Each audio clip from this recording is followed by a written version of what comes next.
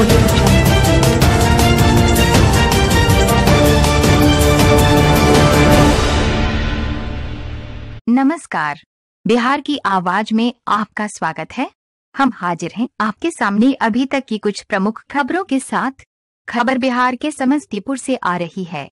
जहाँ उजियारपुर विधानसभा क्षेत्र के युवा समाज सेवी सत्यनारायण सिंह कुशवाहा ने जड़िया मुरियारो पंचायत में गुरुवार की दोपहर ठंड में ठिठुर रहे 213 गरीब व असहाय लोगों के बीच कंबल का वितरण किया। इससे गरीबों में काफ़ी खुशी देखेगी हार कंपाती इस ठंड में कंबल मिलने से गरीबों को तात्कालिक राहत भी मिली। साथ ही हज़ारों गरीब लाचार व असहाय बच्चों के बीच श्री कुशवाहा के द्वारा कॉपी कलम का वितरण भी किया गया।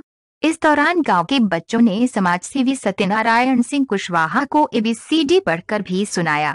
इस पर खुश होकर श्री कुशवाहा ने बच्चों के बीच टॉफियाँ भी बांटी। कंबल वितरण कर रहे युवा समाज सेवी सत्यनारायण सिंह कुशवाहा ने कहा कि, दुनिया में अपने लिए तो सभी जीते हैं, कभी दूसरों के लिए जी कर देखिए। एक अजीब तरह की खुशी की प्राप्ति होगी। श्री कुशवाहा ने कहा कि समाज सेवा हमारे खून में है। जब से हमने होश संभाला है, तब से सामाजिक कार्यों में भाग लेना हमारी दिनचर्या बन गई है। समाज सेवा करना ईश्वर की आराधना करने से भी बढ़कर है। गरीबों के बीच जाकर उनकी सेवा करना सबसे पुनीत कार्य है, ऐसा करके उन्हें काफ़ी सुकून भी मिलता है। श्री कुशवाहा ने कहा कि आने वाले दिनों में भी वे इस कार्यक्रम को जारी रखेंगे। मौके पर अजय सिंह कुशवाहा, राम कलेश रंजन, रूप नारायण सिंह, हीरा प्रसाद सिंह कुशवाहा सहित दर्जनों लोग उपस्थित थे। अभी तक के लिए बस इतना ही। कुछ देर बाद हम फिर हाजिर होते हैं। कुछ अन्य खबरों के साथ। तब तक बने रहिए बिहार की आवाज़ के साथ।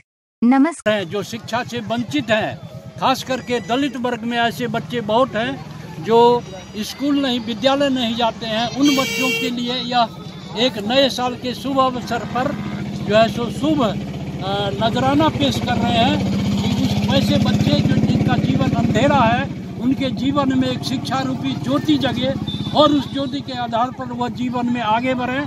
ऐसे इनका सपना लेकर के ये समाज सेवी जो एक अद्वितीय काम, वास्तव में ऐसे सेवा में रहते हैं। समाज सेवा करने के क्रम में हमको बच्चा लोग को देखे जो स्कूल नहीं जा रहा है।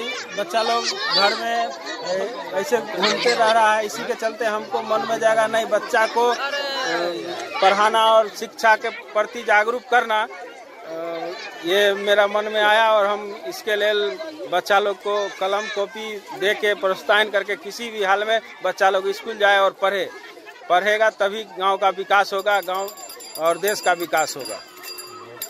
मतलब गरीबी के कारण जो बच्चे नहीं पढ़ाई कर पा रहे हैं उसके लिए आपने ऐसा किया हाँ? गरीब हाँ गरीबी के कारण जो आदमी ने जो बच्चा नहीं पढ़ रहे हैं उनको प्रोत्साहन करके स्कूल भेजने का काम कर रहे हैं। क्या लक्ष्य है? कितने बच्चे को आप कलम कापी दे करके प्रोत्साहन कर देता है? मेरा पच्चीस हज़ार कलम कॉपी दे के बच्चा को प्रोत्साहन करना है। जितना भी जगह दलित बस्ती है चाहे जहाँ भी गरीब सहाय हैं सभी जगह पर जाके हमको वितरण करना है। क्या नाम हुआ? सत्यनारायण सिंह कुशवाहा।